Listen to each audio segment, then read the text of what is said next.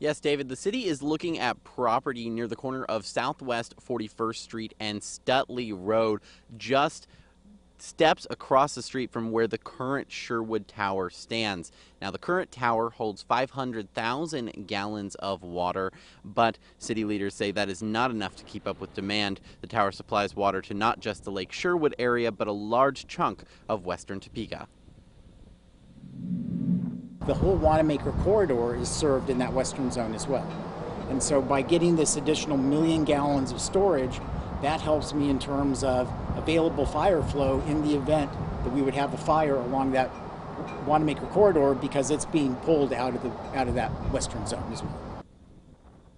Now, the new tower would add that 1 million gallons while keeping the current tower in place. This would triple the amount of water in the district and stop the city from having to regularly pump additional water into the area. Now, the city engineer is working on a land survey right now. Once that is done, it will go back to the city council where they will vote on whether or not to start the process to acquire the land. Now, if that is approved, it will still, I'm told, be another year before construction would begin live in Southwest Topeka, covering local news that matters. James Ryan, KSNT News. James, we certainly appreciate the update from that fast-growing area of the capital city. Well, the city's utilities director says the construction on that water tower could take about 18 months, and he expects the tower would be completed and ready to use sometime in 2024.